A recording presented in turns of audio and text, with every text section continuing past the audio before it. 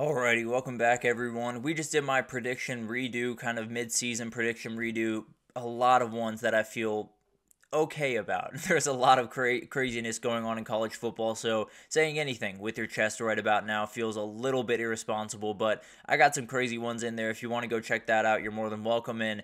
Definitely come after me in the comments because there's some in there that I'm sure people will not love. But let's get into some players and some coaches that are under a big time microscope as we head into this upcoming weekend because there are a lot of them, but they're not necessarily all from those big games. While there are a lot from those big games, but there are a couple that I kind of want to get to that are a little bit more off the beaten path. But let's start with one of those huge games. Kalen DeBoer is under a huge amount of pressure this week. I think this goes without saying. Frankly, it's going to go until the end of the year with him because can you imagine Bama fans if they have two losses before the end of October? That would be an insane thing for them to see, would be something that they are not remotely accustomed to feeling and I think it would come back on Kalen DeBoer pretty aggressively. Now, here's the hard part of this. They're not necessarily playing a team where it's kind of a layup of a game. You're walking into a Tennessee environment where it's going to be absolutely on fire. Your team lost the last time they were there. Well, not your team, but Alabama lost the last time they were there, so Tennessee knows that they can do this. They definitely have some questions on the offensive side of the ball for Tennessee, but you have a lot of questions on the defensive side of the ball. So it's going to be really interesting to watch this one unfold. And I think the other part of this is the Tennessee defense is a nightmare to deal with. And Kalen DeBoer is going to have to be able to get some guys open. Sounds like Kobe Prentice and Kendrick Law could not be going in this game, which adds that even more. So there's a lot going into this one. He's going to have to put on a really, really good game plan.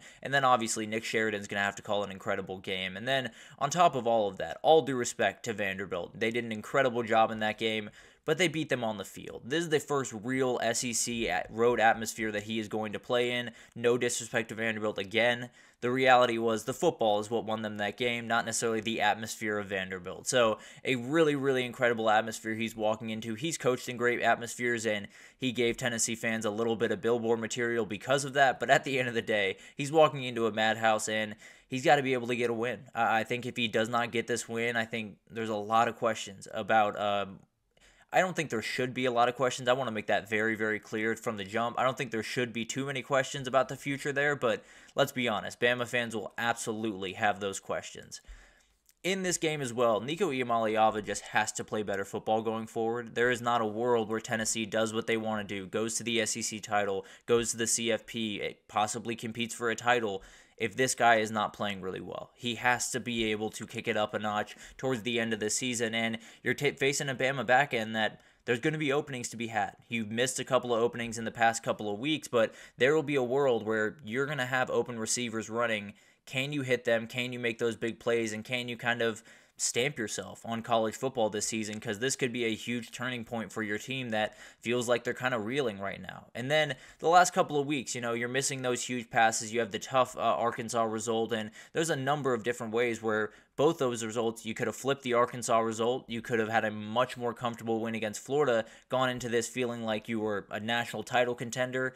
Just a couple of shots. It's just a couple of big plays that he is, excuse me, that he has missed over the last couple of days, he very badly needs to hit those on Saturday. So I think he's a very, very talented, capable kid. There's no two ways about that. You see the way he throws the football, it's a lot of just I, whether it's lack of confidence, whether it's lack of execution, I don't know. But at the end of the day, he is missing the balls that he very much needs to hit, and he could rewrite the book on Saturday. He could totally subside all of those worries. If they beat Alabama, I promise you, there's not a Tennessee fan in the world that's saying anything bad about Nico Iamaleava at the end of the night.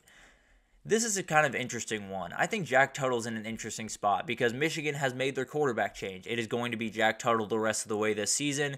The question is, how much of a flip are Michigan fans expecting from this offense? Because I know they want a flip. They want to be able to pass the ball a little bit more often. I don't think they're expecting to be, you know, a pass first team by any stretch of the imagination. But I do think they're expecting a little bit more from that game. The question is, do they go back to just what they were doing with Davis Warren? Because I think Jack Tuttle can open up a, even a little bit more than Davis Warren did. Do they play just, we're going to run the ball and then just take our shots the same way they did with Alex Orji, but hopefully hit those shots shots a little bit more often.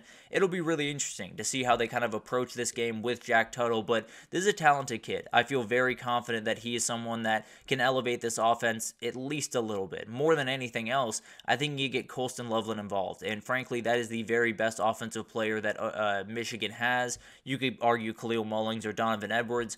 I'd say Colston Loveland is an absolute game changer, and they very badly need him in the offense. So he's one of those guys that I think Michigan fans are going into this weekend expecting to win that game, expecting to look a lot better on offense, and expecting to walk out of it saying, you know, maybe we're not going to have that elite season, go to the CFP, but we now have a quarterback that we can feel confident in and at least play competent, uh, competent football and maybe just maybe compete with Oregon and Ohio State down the road.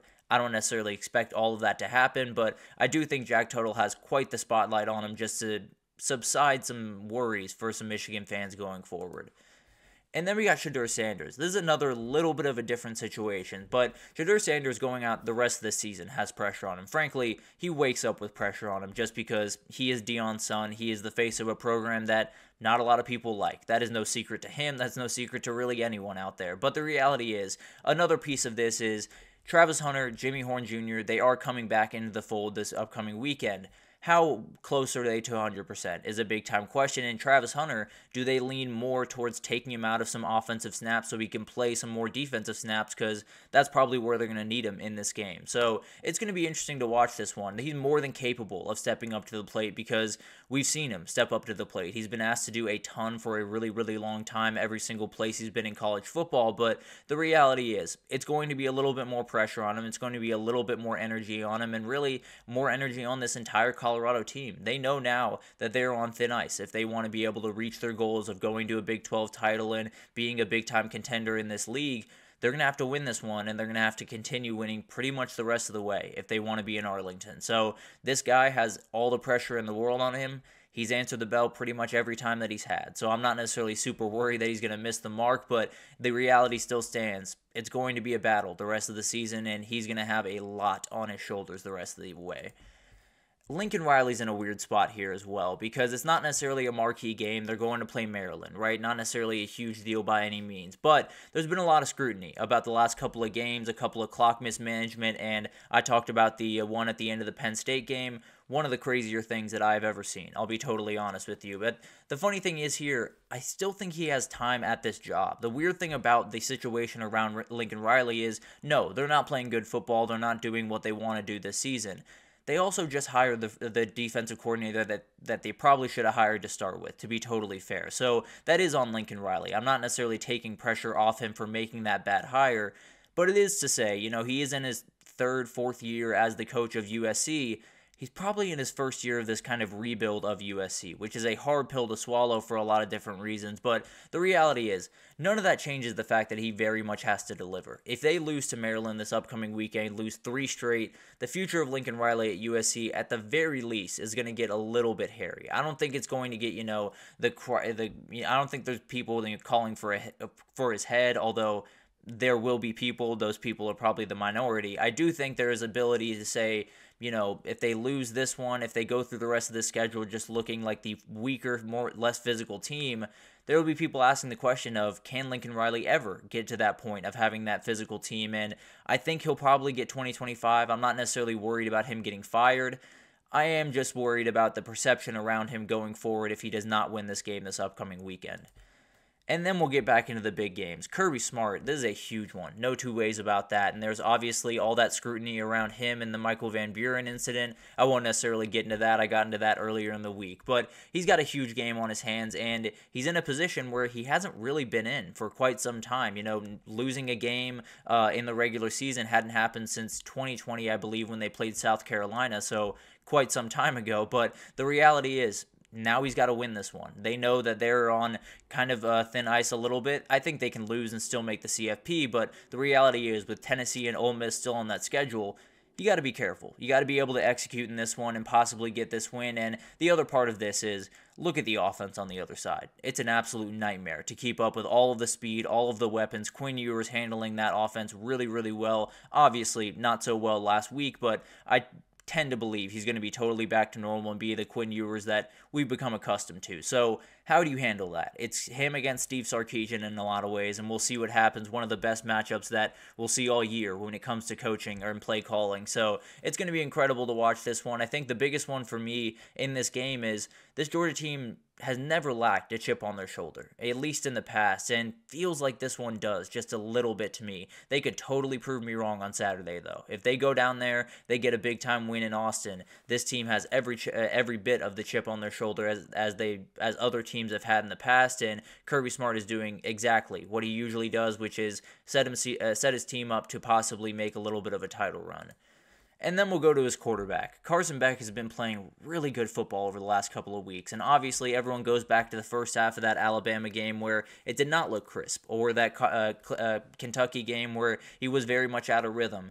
This kid can throw, uh, can sling the pill. He is absolutely incredible to watch throwing the football. And frankly, he's in one of these moments where a lot can happen on Saturday. And not only can his team get back into the CFP race, get back into the title race, get back into the SEC race, he could possibly find his way into the Heisman race. I know that sounds crazy, but we saw with Dillon Gabriel last week, a, a guy that was playing good, not great football has one big time game and shoots up to the top. I think that could be the same thing for Carson Beck. And probably the added piece to this is I don't know how many NFL scouts will be in the crowd.